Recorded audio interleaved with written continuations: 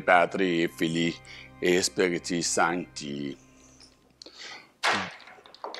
J'ai déposé mon, euh, mon chapelet. Bonjour. Euh, je m'appelle euh, frère Jean-Marie Wissel. Je suis jésuite. Le SJ en petites lettres, SJ point, J point, à côté de mon nom, veut dire Société de Jésus. Donc, de là, je suis un jésuite. Euh, mes vêtements sont très simples. Tu as le chapeau à large rebord. Euh, mon chapelet n'est jamais loin. Et aussi, euh, l'époque, le dicte, euh, j'ai ma montre en or. Donc, puis ma, mon costume ou ma robe ou ma soutane va vraiment jusqu'à terre. C'est vraiment intéressant quand ça vient le temps de monter des escaliers, mais sans ça, c'est c'est, euh, même chaud et très confortable. Merci. Merci beaucoup. Donc, euh, pourquoi, une, pourquoi un kiosque, une station, pourquoi une présentation sur les Jésuites à la maison euh, Messenger? Euh, parce que nous sommes un élément important de l'histoire de notre région. On va commencer au commencement. Au commencement, dans les, années 1600 et 1700, euh, l'Europe est en expansion. OK? Donc, l'Europe cherche à aller euh, chercher des, des- richesses, cherche à atteindre euh, l'Orient ou la Chine, la Chine qui est très, qui, très riche. Pour ce faire, les, les Espagnols vont avoir accès, à ils vont découvrir l'Amérique du Sud, vont avoir accès à l'Amérique du Sud. Puis les Anglais et les Français, évidemment, eux autres, dans des places, euh, voient que les Espagnols font beaucoup d'argent, donc ils veulent avoir de l'argent aussi, donc ils vont euh, commencer à explorer euh, l'Amérique du Nord. Les Français vont débarquer avec euh, dans plus haut en Amérique du Nord, dans la région du Saint-Laurent, avec Jacques Cartier, puis plus tard avec Champlain. Puis de là, ils vont s'étendre, ils vont prendre graduellement possession des terres à l'intérieur de cette région-là. Il y a aussi, avec ces Européens-là, il y a aussi un grand besoin d'évangéliser euh, le monde, d'évangéliser les gens, les non-chrétiens, de présenter euh, la foi catholique, de présenter euh, la vie de Jésus, de sauver les gens, de- d'emmener les gens à, à l'amour du Christ et à, sa lumière, puis à les sauver, pour que, éventuellement, à la dernière venue du Christ, que euh, le, plus de personnes possible euh, vivent euh, la vie éternelle en présence du Christ. Donc, il va y avoir vraiment un nombre important d'ordres religieux fondés ayant comme mission d'être missionnaire dans le monde. Merci. Notre ordre, l'ordre des Jésuites, est fondé en 1540 par euh, Saint-Ignace de Loyola. C'était un militaire. Euh, nous, euh, nous sommes un ordre religieux qui... Ouais, ça, prend 15, ça prend 15 ans d'études pour devenir un jésuite, de la, la première intention de devenir jésuite jusqu'au temps qu'on les envoie en mission dans les pays. Donc, euh, nos études sont très poussées. Nous sommes un ordre aussi qui travaille de- en étroite collaboration avec le pape. OK? Ça, c'est bon. Maintenant, comment, quand et pourquoi est-ce que nous sommes arrivés en Amérique du Nord? Bien, nous débarquons à Port-Royal, Nouvelle-Écosse, en 1616. Euh, pourquoi? Parce que ben, les récollets sont venus avec, les, avec Champlain, avec euh, les, les, les, euh, les premiers colons. Puis, euh, il a commencé à évangéliser ben, les Autochtones euh, de la région. Puis, euh, pour ceux qu'on appelait ça des non-chrétiens, mais c'était euh, c'était essentiellement les, les Autochtones. Puis, ils sont vite aperçus qu'il manquait de main-d'œuvre, qu'il manquait de prêtres qu'il n'y avait pas assez de, il y avait pas assez de, de personnel pour s'acquitter de la tâche. Puis nous, on venait d'être fondés, puis on était vraiment spécialisés dans le domaine de l'évangélisation au niveau de la planète. Donc, ils nous ont demandé notre aide. Pour la région de Sainte-Marie, en 1632, ben, on commençait à mettre de côté Sainte-Marie parce que en 1632, le nom Sainte-Marie n'existe pas, c'est le nom Bawatin qui existe, qui est un nom abjiboui qui veut dire un lieu de rassemblement. Bon. Samuel de Champlain a besoin de connaître, de connaître la région des Grands Lacs. Euh, lui ne peut pas le faire seul. Il nomme des, euh, des jeunes pour aller s'implanter euh, parmi les peuplades autochtones. Un de ces jeunes-là s'appelle Étienne Brûlé. Étienne Brûlé passe par sa Sainte-Marie, relate à Champlain l'existence de l'endroit. Champlain le met sur une de ses cartes, puis l'appelle Saut du Gaston. Mais Saut du Gaston, ça vient du nom du frère du roi de l'époque. 1625. 1625, mon ordre, qui est l'ordre des Jésuites, euh, a déjà commencé son travail, son travail d'évangélisation dans la région euh, euh, moderne du Québec. Donc, on va essayer de, on va essayer de faire une technique, on va essayer d'évangéliser des, des gens de de plusieurs différentes manières. On va établir des séminaires. On va essayer de prendre des gens, les emmener à nos séminaires. On va essayer de nous de se rendre parmi les peuplades. Donc, c'est une période vraiment d'effervescence pour nous. En 1667, tu as le euh, frère, Claude Aluez qui, encore, passe par la région, s'arrête un soir à une vision de la Vierge Marie, euh, puis nomme la rivière qui est présentement devant vous, derrière nous, en fait, la rivière Sainte-Marie. La rivière Sainte-Marie a été nommée par un jésuite, qui a eu une vision de la Vierge Marie pour, euh, avoir ce nom-là. En 1668, tu as le père euh, Marquette, qui, encore là, un jésuite, un des nôtres, qui lui euh, vient puis euh, s'aventure de plus en plus loin dans, la région, puis comment il, évangélise beaucoup de personnes. Mais lui établit pour la première fois une mission jésuite, une mission catholique, mais de l'autre côté de la rivière, d'ici, côté américain. Puis cette mission-là va avoir beaucoup de succès, puis elle va être vraiment importante, puis elle va demeurer très longtemps en poste. OK? Bon, on, va, on va le voir plus tard jusqu'à quel point mais elle a été fondée par, par Marquette. Puis par Marquette, si vous vous promenez aux États-Unis, euh, aujourd'hui, il y a même une ville qui s'appelle Marquette, Market, euh, aux États-Unis, qui porte son nom. C'était un de nos frères jésuites, super important. Donc, en 1670, ben là, le, le 17e siècle avance, tu as une, présence continuelle euh, de jésuites euh, dans la région. Tu as euh, M. Joliette qui, qui, passe par chez nous, tu as Radisson, tu as Lamotte Cadillac qui, qui, lui, éventuellement fonde, la colonie ou le poste ou le fort de Détroit qui devient un, dirigeant vraiment super important pour la Nouvelle-France. Donc, tous ces gens-là passent par chez nous éventuellement. En 1671, le roi Louis XIV euh, émet un édict qui dit que la Nouvelle-France prend possession, ou la France prend possession de toutes les terres de la région des Grands Lacs. Ça, c'est important pour nous, parce que nous, on travaille sur le terrain. Qu'est-ce que ça, qu'est-ce que ça fait un jésuite? Un jésuite comme nous, oui, ça part de Jésus, mais on arrive, on crée des missions, on parle aux individus, on, on tous les jours. Mais à tous les jours, on parle du Christ. À tous les jours, on a une communion. À tous les jours, on va célébrer les mariages. On va baptiser tous les sacrements. On va réaliser tous les sacrements. On va faire les mariages. On va baptiser les enfants. On va même présider au funérailles des gens pour faire certain que l'âme des gens se rende au paradis éventuellement, qu'ils soient, qu'ils acceptent le Christ dans leur cœur, puis qu'ils se rendent, que leur âme se rende au paradis.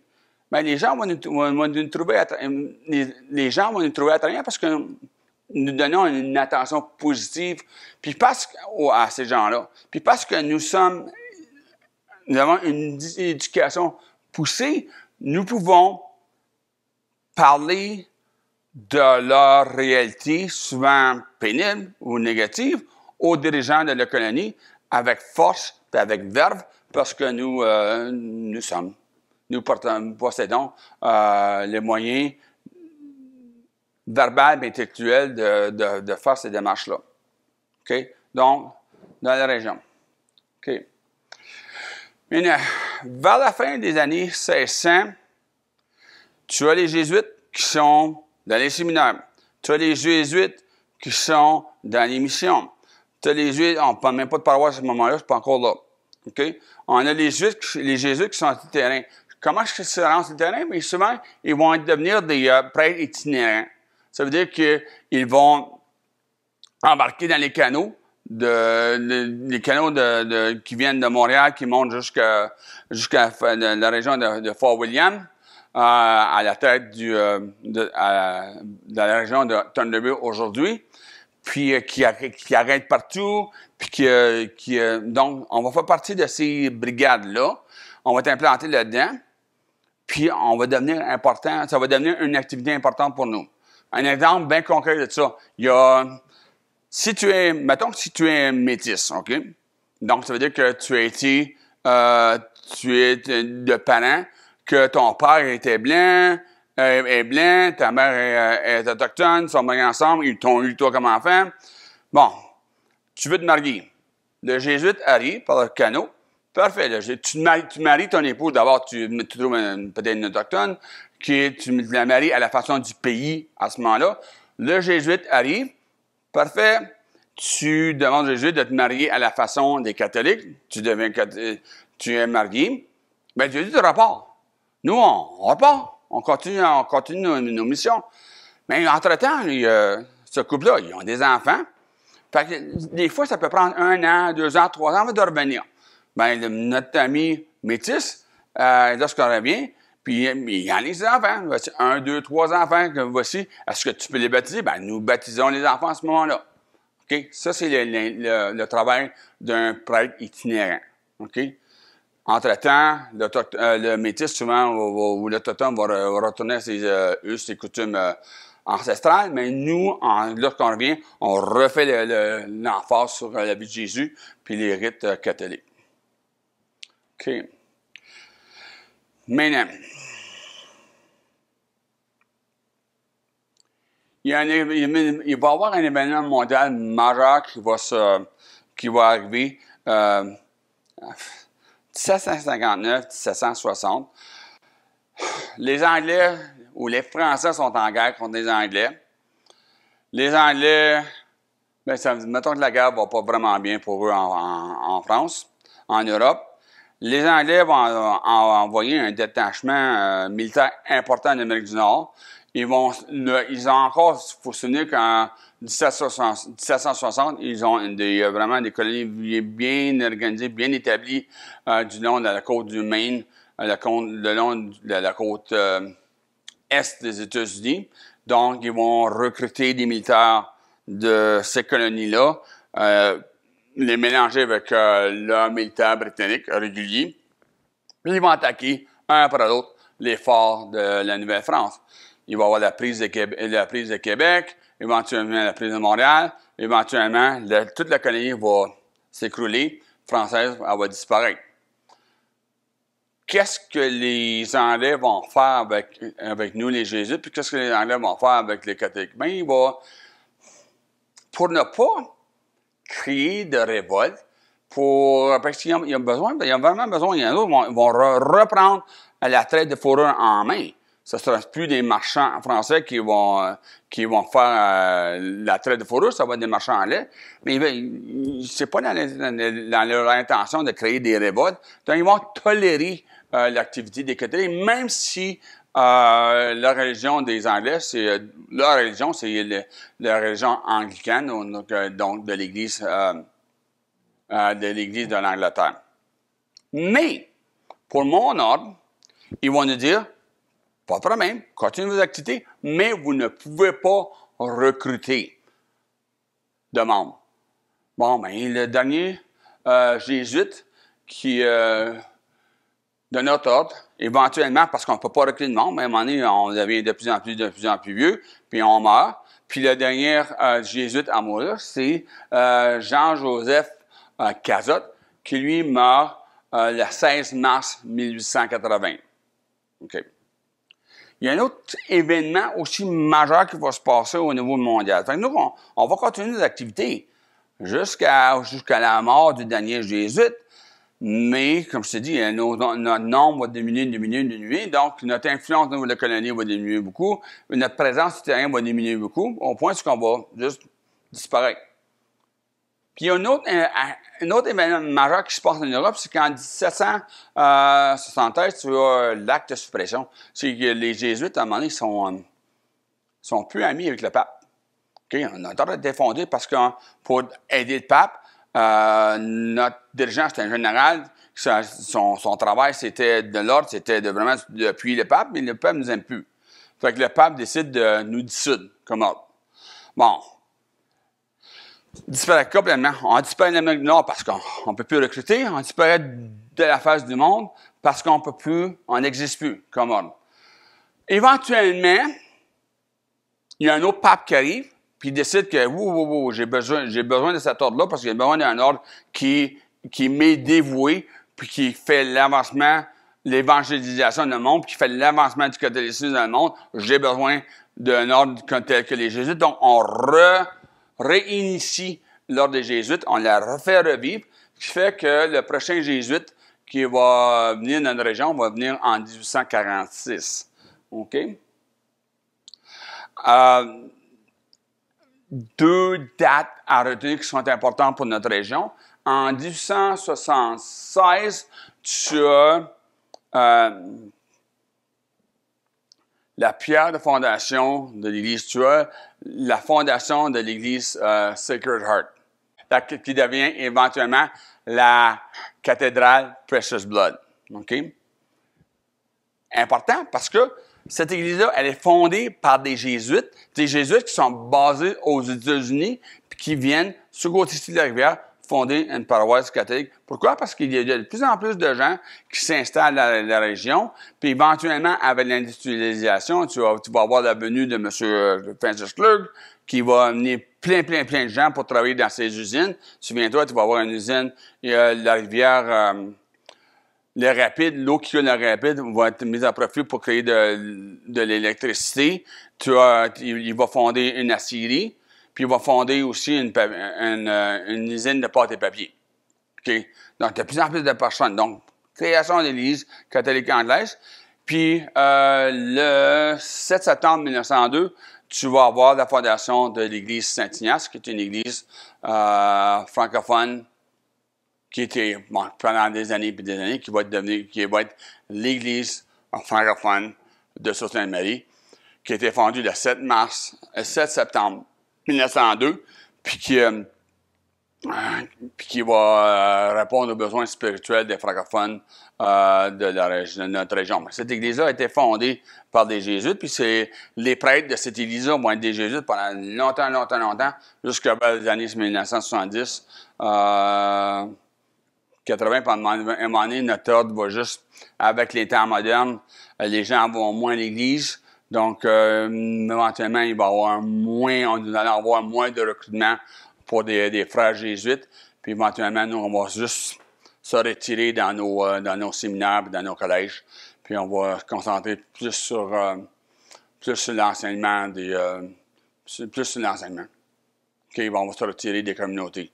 On va être moins, de moins en moins en moins de force dans les communautés, euh, comme c'était sous le régime français, comme ça a été euh, la deuxième partie des années 1800 aussi, puis euh, presque le trois quarts des années 1900 aussi. Donc, c'était ça. merci beaucoup. je suis bien content de m'avoir entretenu avec vous. Puis j'espère que vous avez appris quelques, quelques petits points sur l'ordre des Jésuites dans la région des Grands Lacs et dans la région de Sault-Sainte-Marie. Merci.